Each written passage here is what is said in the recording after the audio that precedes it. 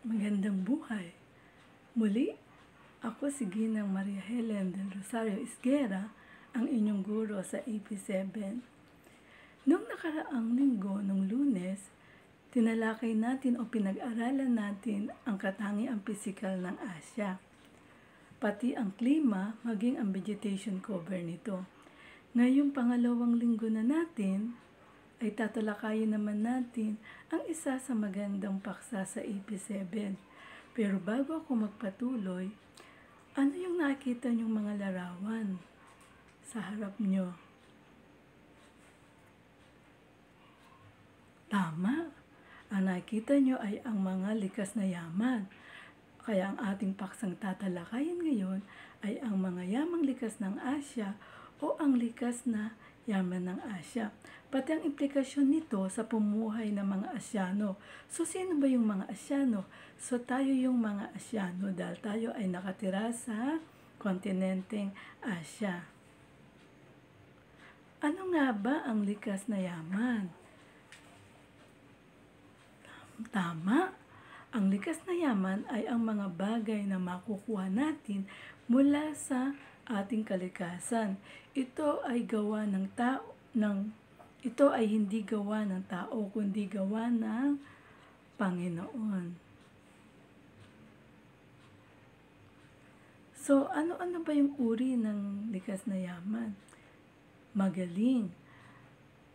Ang mga uri ng likas na yaman ay yaman lupa, yaman tubig, yamang mineral, at yamang gubat. So, pag sinabing yamang lupa, lahat ng nanggagaling sa lupa, yaman tubig, lahat ng mga likas na yaman na nanggaling sa tubig. Pag sinabing yamang mineral, lahat ng minimina sa ilalim ng lupa. At pag sinabing yamang gubat, ito ay ang mga likas na yaman na nanggagaling sa kagubatan. At alam nyo ba, meron pang isang uri ng likas na yaman na hindi nakasama dyan sapagkat iyon ay tatalakayin natin sa mga susunod pang aralin. Alam nyo ba kung ano yon? Siyempre, tayo yon. Yamang tao. Tayo ang pinakamataas na uri ng likas na yaman na ginawa ng Diyos. So, tulad ng tinalakay natin dati, mayroong tayong limang kontinente ng Asya. So, dahil napakalawak ng Asya, kaya tatalakayin natin ang mga likas na yaman sa bawat rehiyon ng Asya. So, ito, simulan na natin. So, una, sa Hilagang Asya, may malawak na damuhan na mainam pagpastulan ng mga alagang hayop ang Hilagang Asya, pagamat dahil sa tindi ng lamig dito ay halos walang nabubuhay dito. Then, mayaman din ang Hilagang Asya sa yamang gubat tulad ng troso mula sa bansang Siberia. Sa yamang tubig naman, mayaman din ang Hilagang Asya. Katulad nung sila ang nagluluwas ng kabyar. Ano ba yung kabyar? Ito ay itlog ng mga sturgeon at itong sturgeon, ito ay isang malaking isda na likas sa rehiyon na yon sa Hilagang Asya. So katulad din ng isa sa bansa sa Hilagang Asya na Kyrgyzstan, tinatayang may pinakamalaking deposito ng ginto. So yan naman ang kanilang yamang mineral. Sa Tajikistan naman, may tatlong uri ng yamang mineral. So metalikong mineral, mineral na panggatong, at material, mineral na material. Turkmenistan naman ay natural, natural gas at langis ang pangunahing industriya. Sa Uzbekistan naman, sa Ilagang Asya, ito ang nangunguna sa produksyon ng ginto. So mayaman talaga sa ginto ang Hilagang Asya. So mayaman din sa lambak at mga burol ilog ang Hilagang Asya. At sila ay, ang mga Asyano dito ay nagtatanim ng trigo, palay, barley, bulak, tabako, sugar beets, sibuyas, ubas, at bananas. Sa pag-aalaga at pagpaparami ng mga hayop tulad ng baka at lupa, nagkakaroon ng mga tao ng lana, karne at gatas. So, mayaman din ang Hilagang Asya sa mga ganyan. So, dako naman tayo sa Kanlurang Asya. Ang Kanlurang Asya naman o ang tinatawag na Western region o tinatawag na Middle East ay sagana sa yamang mineral, partikular na sa langis at petrolyo. Katulad ng Saudi Arabia. Ang Saudi Arabia ang pinakamalaking tagapagluwas ng petrolyo sa buong daigdig. Malaki rin ang produksyon ng langis ng Iran, Iraq, United Arab Emirates or UAE, Kuwait at Oman. May natural gas, tanso, bauxite, potash, zinc, magnesium, phosphate at iba pa. So, sa Iran naman, mayaman din sa mga prutas tulad ng trigo, barley, palay, bulak at iba pang prutas.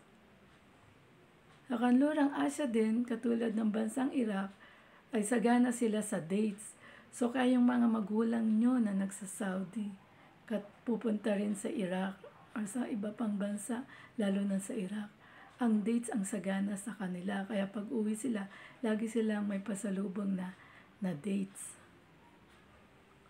Sa Israel naman, ay sagana sa dalandan. So, hindi lang sa Pilipinas meron doon, pati sa Israel. Sa Kanlurang Asya din ay mayaman sa bundukin at disyerto. So kaya paghahayupan ang pangunahing gawain ng mga taong naninirahan dito, katulad ng mga bansang nababasa nyo. Dako naman tayo sa Timog Asya. Sa Timog Asya, ang pagsasaka ang pangunahing ikinabubuhay ng mga tao sa rehiyong ito, katulad din sa ating bansa, Pilipinas. So sa Timog Asya din, palay ang mahalagang produktong bagamat may patanim, pataniman din ng trigo, jute, tubo at mga gulay. Sa Timog Asya din, katulad ng bansang India, India, lupa ang pinakamahalagang likas na yaman, lalo na ang mga kapatagan at lambak na pinagyayaman ng mga ilog ng Indus, Ganges at Imbotra, Putra.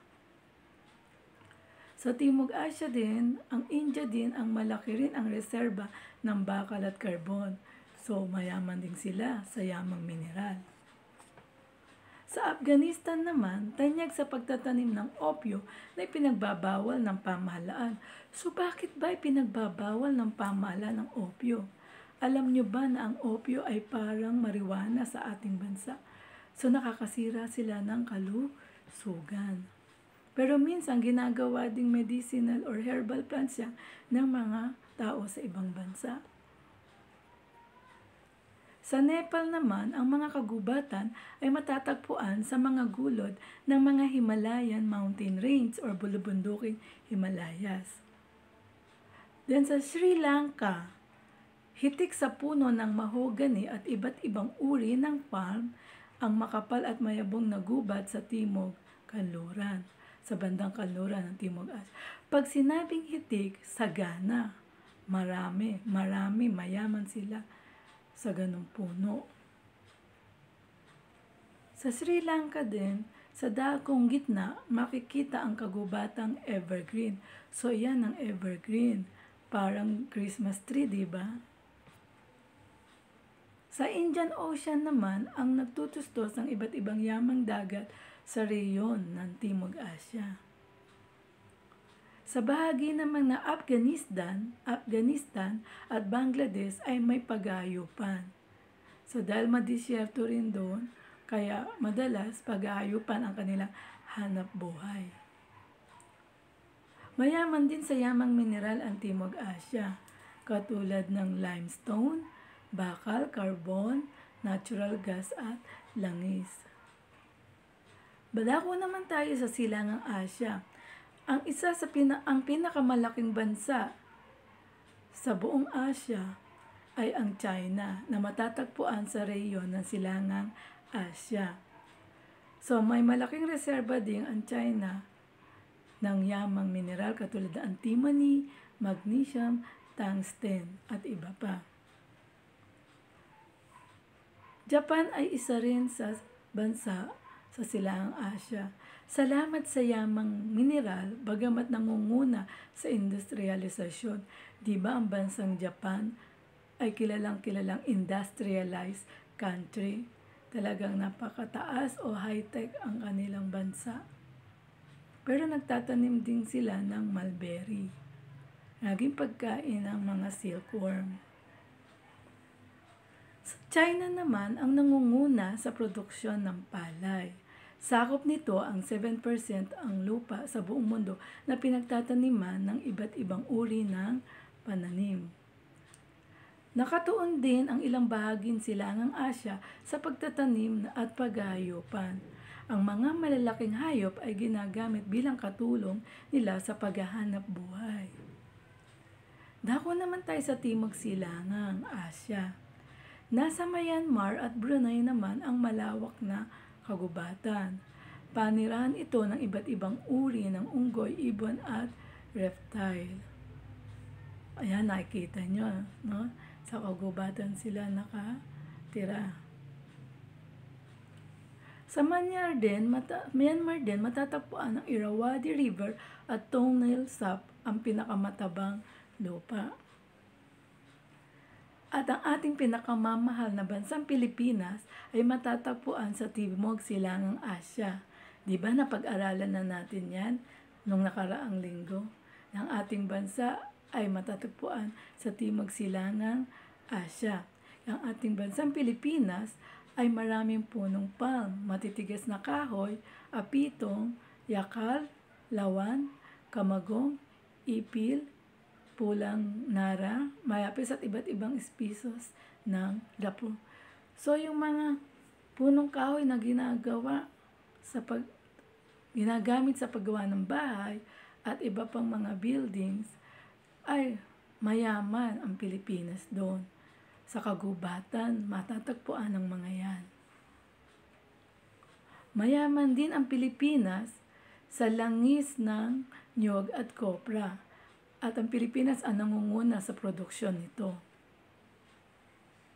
Mayaman din ang ating bansa sa tanso at ito ang isa sa pinakapangunahing yamang mineral ng ating bansa. Ang kalabaw bilang ating pambansang hayop ang pinakakilala sa ating bansa. Ganon din ang baka, baboy, kabayo, kambing, at manok ay karaniwang inaalaga ang hayop sa rehiyon na to. So, ang kalabaw ay katulong ng mga magsasaka sa kanilang pagtatanim. At ang iba namang hayop ay madalas inaalagaan ng ating kapwa Pilipino upang gawing hanap buhay. Isa sa bansa pa na matatagpuan sa Timog Silangang Asya bukod sa ating bansa ay Indonesia. Ang Indonesia ay may malaking deposito ng natural gas at langis. Mahigit 80% ng langis ng Timog Silangang Asya ay galing dito at 35% ng liquefied gas sa buong daigdig.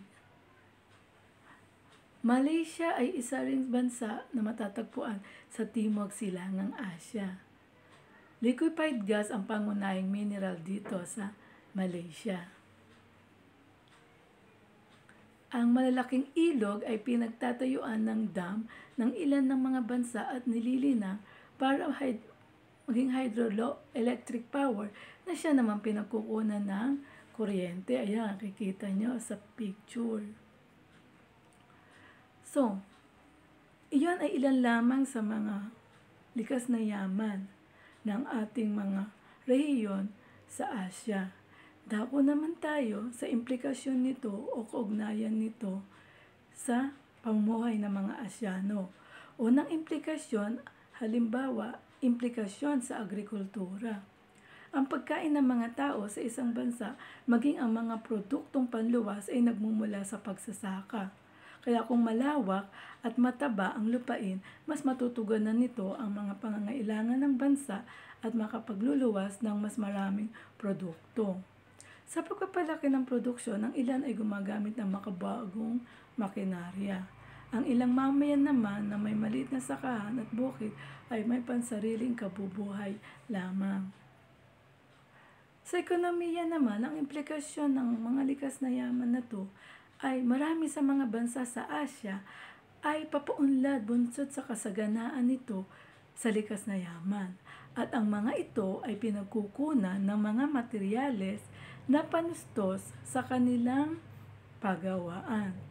Maging ang maunlad na bansa dito kumukuha ng mga hilaw na materyales. Kung kaya't halos mauubos ang likas na yaman na hindi sila nakikinabang dito. Sa kabilang banda, likas din ang kanilang iniluluwas.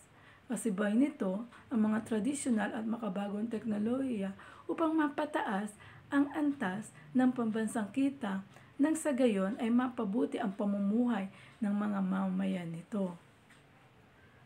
Ang implikasyon naman nito sa panahanan o sa tirahan o tahanan ay patuloy na pagdami ng tao ay patuloy rin ang pagdami ng nangangailangan na ikabubuhay at pananahanan nito. So habang lumilipas ang panahon, patuloy talagang lumalaki ang populasyon. Kaya kailangan talaga ay maging marami rin o umunlad din o lumago rin o mapayaman din ang likas na yaman. Dahil dito rin kinakain, dito rin kinukuha ang pagkain o ikabubuhay nating lahat. Ang dami ng populasyon sa isang lugar ay nakabatay sa katangian ng likas na yaman nito. Isang katotohanan na ang populasyon ay lumalaki, ngunit lupa ay hindi. Kung kaya't ang ilan ay sinasagawa ang land conversion na nagdudulot naman ng pagkasira ng tirahan ng mga hayop. Ano bang ibig sabihin ng land conversion? So pag sinabing land conversion, ito yung kino-convert yung lupain. Sa halip na gawing uh, taniman, tinatayuan ng bahay sapagkat kulang na ang tirahan, lupain na tirahan ng mga tao. Halimbawa, ang mga kagubatan o kubandukan ay ginagawa ng subdivision para tirahan ng mga tao. Kasi parami ng parami na ang mga tao. Kaya nababawasan ang lupang pagtatamnan. Nagiging salip na mga halaman o likas na yamang sa lupa ang itatanim, bahay ang itinatanim sa lupa. Kasi nga walang tirahan eh. 'Di ba? So, yun ang isa, isa sa implikasyon sa, pa, sa pananahanan.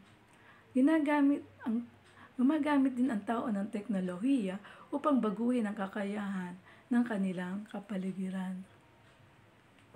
So, iyon ay ilan lamang sa implikasyon ng likas na yaman. Sana meron kayong na meron kayong natutunan sa ating maikling talakayan. So, at makakatulong ito, mas makakatulong ito upang ma- mas maunawaan ninyo ang paksa na sa learning module nyo sa SLM or self-learning modules ninyo. Muli, magandang araw. Maraming salamat. Happy learning. God bless you all. Kaya nyo yan.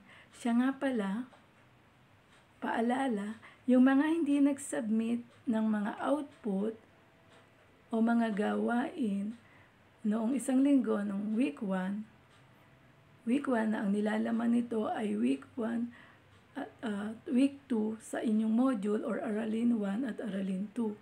So, pwedeng pwede pa kayong magpasa kahit hindi kayo nakapagpasa nung Friday. Di ba yung pasahan? Pwedeng pwede pa, tatanggapin ko yan. Ang mahalaga, nagsisikap kayong gumawa. Kayang-kaya niyo yan. So, hanggang sa muli, mag-aral mabuti, sagutan ng maayos ang module, at kung may tanong, mag-PM lang kayo or magtanong lang kayo sa GC. Tutulungan ko kayo. So, huwag kayong mayayang magtanong. Sabi nga, huwag mayayang magtanong kung may right med nito. So, muli, maraming salamat. Happy learning. God bless us all. Bye-bye.